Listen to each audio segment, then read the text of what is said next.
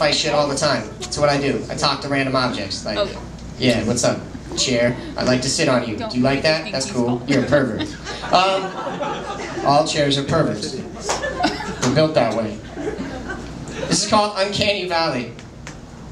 And if I mention you in this, uh, get over it. Okay. Texas is a rodeo where all the bulls are dead, but the cowboys keep riding. Nevada is a sink where constellations go to slit their wrists.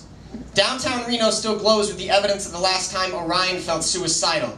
When the old Sands Casino collapsed in on itself, tourists who had not escaped the building in time were catapulted across the desert like moist Argyle water balloons. Their green plastic sun visors buzzing through the air like wings of horny dragonflies. I hope that Santa Fe frames my mother's heart better than those overpriced nature photos that it loves so much.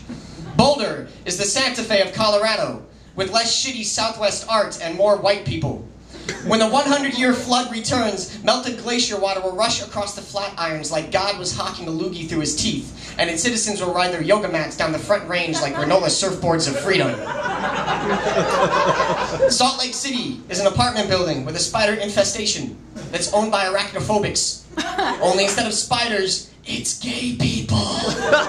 It's true, there's a huge gay population It's not like It drives the Mormons crazy. Anyway, okay. Albuquerque, I promise to hold you until the fire burns out and never complain about your bad breath. Telluride, you made me an alcoholic and you gave my dog cancer. Houston, like Dionysus and the Saxons, I will never go out of my way to meet you and don't tell Indianapolis, but I was thinking of someone else the whole time. Phoenix has an eating problem.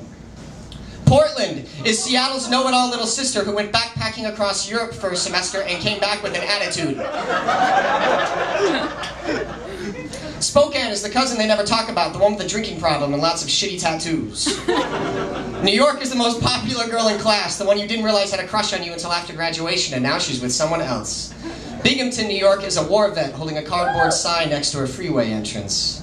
Park Street Station in Boston is like my grandmother's hands. It smells funny. It's like my grandmother's house. It smells funny. It's full of medical professionals, and it's always 90 degrees even in the wintertime. The worn brick floor looks like the palms of her hands. Some nights, after drinking too much Cambridge, I wind up there, crawling on my hands and knees, and apologizing for sins I do not remember committing. Hmm. Thank you.